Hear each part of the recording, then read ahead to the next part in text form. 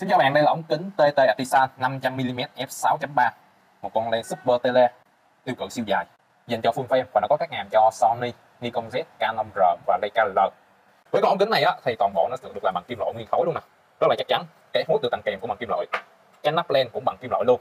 Trọng lượng của con ống kính ngàm mà Sony mình đang cầm á, là khoảng 1kg, rất là nặng. Nên hãng bố trí thêm một cái cổ chân này nè để các bạn gắn vào chai bót. Đây có hai cái lỗ một phần tư nè để gắn vào chai bót nhé với con ống kính này á, thì nó được phủ rất là nhiều lớp có tin của Hoya cho màu sắc cực kỳ đẹp.